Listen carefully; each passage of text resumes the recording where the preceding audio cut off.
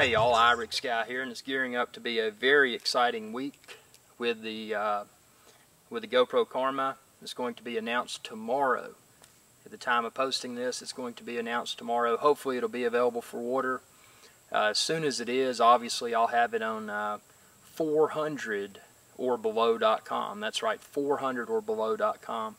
And obviously, like every other drone, I will be doing exhaustive amount of field tests uh, tutorials, you name it. It'll all be here on Irix Guy's Adventure Channel, youtube.com forward slash Irix Guy, and then also 400 or below.com. But I think the GoPro Karma is going to be, even if it doesn't impress us like we hope that it will, I think it's definitely going to impress because DJI has apparently reacted.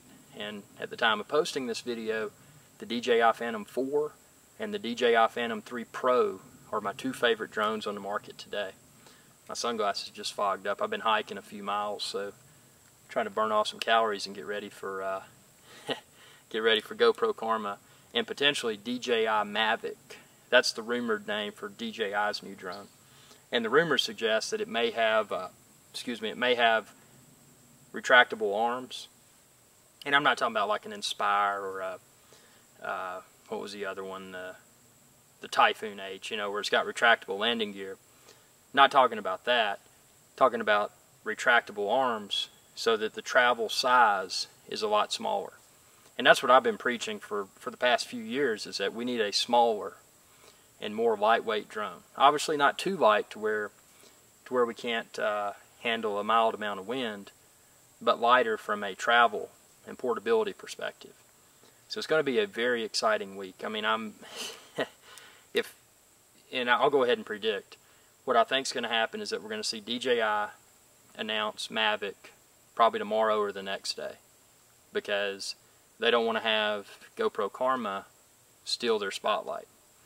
And it's interesting because as I had mentioned in pre within a previous video, this is the first time that I've seen DJI react to a competitor's product. So to me, that suggests that this product is going to be awesome. The DJI, I'm sorry, the GoPro Karma.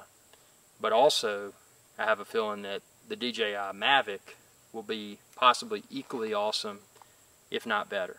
Competition breeds better products. There's no doubt about it. But the thing that's, this, that's so great about this is just something fun, something to tinker with, something to uh, to troubleshoot, and watch the drone industry continue to evolve. So thanks for watching, and be sure to subscribe. YouTube.com forward slash IrixGuy. I got a hike but uh, it's going to be a fun week. Stay tuned. Hey all, Irix Guy here. I wanted to take a moment to thank you for watching this video. If you enjoyed this video, please subscribe to my channel. I'm an independent channel, and it's viewers like you that help me to continue to grow. I appreciate your viewership, and y'all have a good day.